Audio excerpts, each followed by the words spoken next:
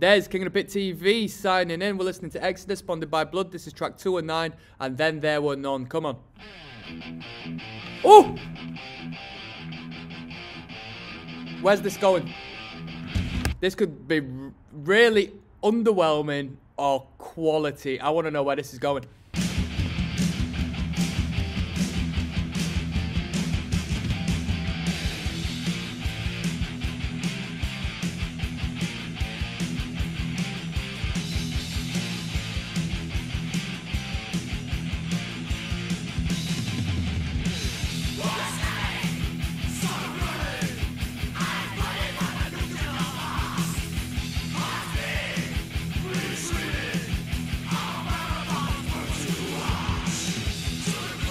Hey, how how early on was it when Thrash started writing about warfare? Cause this is this is 85 and we're talking about war, which is pretty good.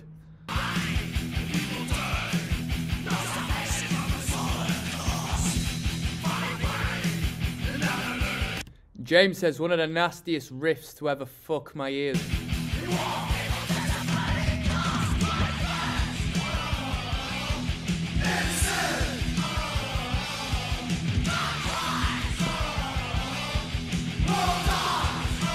Them gang chant vocals are so much more powerful than the, than the general vocal line. And rightfully so, it's a gang vocal, eh?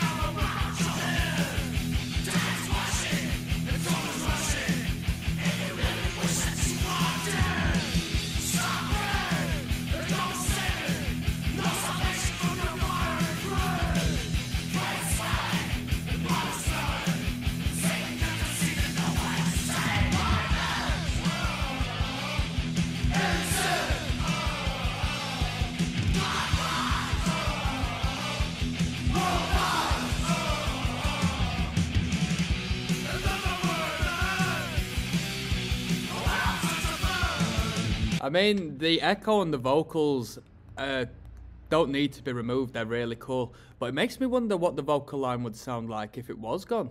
You know what I mean? If it just concentrated vocal.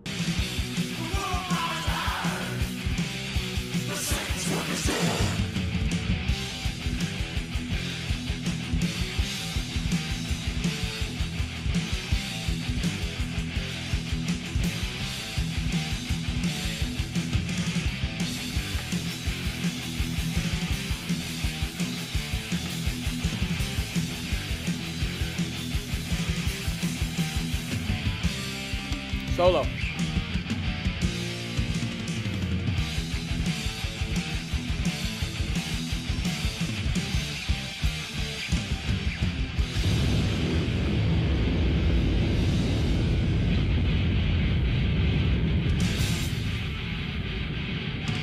Slam dance.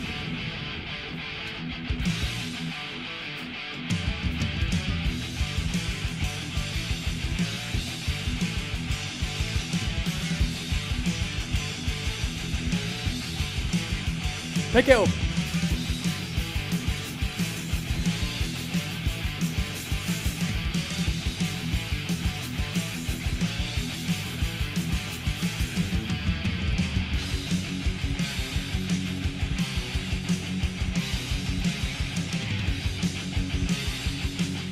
Plenty of riffs, plenty of riffs.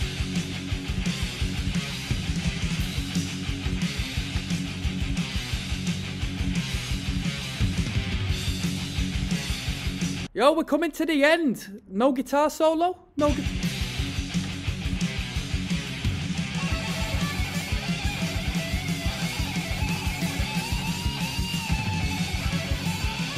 Yo, I think, yo, because people, I don't like guitar solos, right? I just get sick of hearing them because I listen to a lot of metal on this channel, right?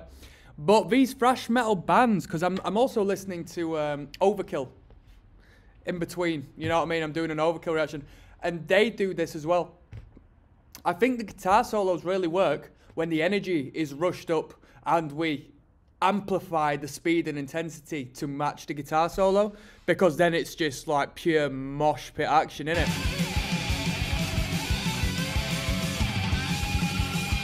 Come on.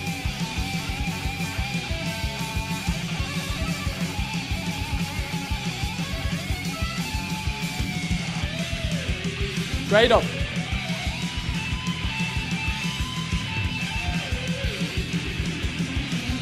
Uh, rhythm guitars kicking my ass.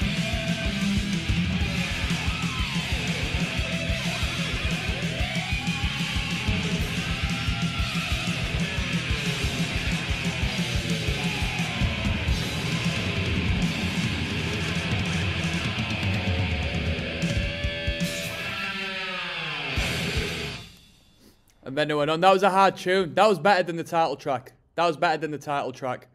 There was some good riffs in that. There was some good riffs. I like that one a lot. We've got No Love coming up next, people.